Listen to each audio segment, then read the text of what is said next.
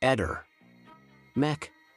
Pallister. È trascorsa circa una settimana da quando le forze dell'ordine hanno rinvenuto un secondo cadavere nella villetta di Vignale di Traversetolo, portando a nuovi interrogatori riguardanti la giovane già coinvolta nelle indagini per l'omicidio del neonato partorito il 7 agosto. La ragazza, di 22 anni, avrebbe ammesso di aver tolto la vita anche al suo primo figlio, nato circa un anno fa. Recentemente, il nucleo investigativo dei carabinieri ha effettuato un nuovo sopralluogo nella villetta, soprannominata ormai la villetta degli orrori. Le operazioni sono iniziate poco dopo le 12.30 e si sono protratte fino alle 15.30.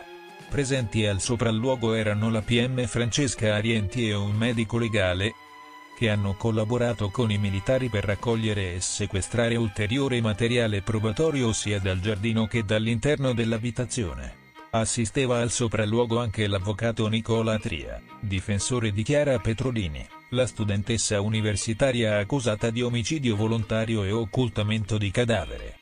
Indossando tute bianche per evitare contaminazioni. Il gruppo si è concentrato sul retro della casa, dove il 9 agosto è stato ritrovato il corpo di un neonato parzialmente sepolto. L'autopsia ha confermato che il bambino era nato vivo dopo una gestazione di circa 9 mesi e che Chiara Petrolini ne è la madre, come dimostrato dall'esame del DNA. Nella stessa area del giardino è stato scoperto, la scorsa settimana, un secondo corpo di neonato.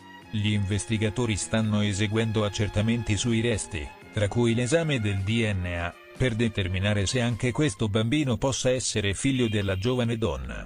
L'indagine ha coinvolto non solo il giardino, ma anche l'interno della casa, con tutta l'area delimitata da nastro per impedire l'accesso ai curiosi. La presenza dell'avvocato Tria conferma che Chiara Petrolini è formalmente indagata e il suo legale ha il diritto di essere presente durante gli accertamenti. Specialmente quando si tratta di atti irripetibili come gli scavi nel giardino.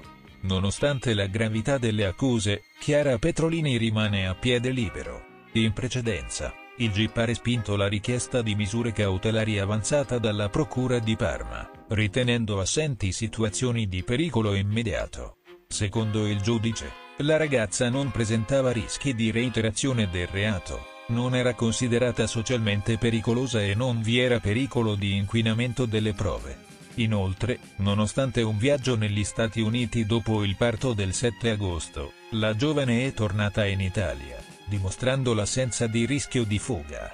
La scoperta del secondo corpo potrebbe portare a nuove valutazioni sul caso e sulla posizione legale di Chiara Petrolini che rimane indagata per omicidio premeditato e occultamento di cadavere.